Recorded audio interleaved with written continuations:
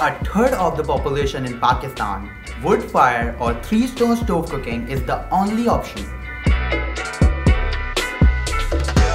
My safe cooking stove is cheaper to use because it uses sand for insulation and needs 60% less wood to run. GGS is great. I cannot think of a better place for designers and inventors to come together and share concepts. With ARM Holding, I learned how to tell and pitch the story of safe cooking whether to investors or end buyers and how to adapt myself to real life requirements of the business world.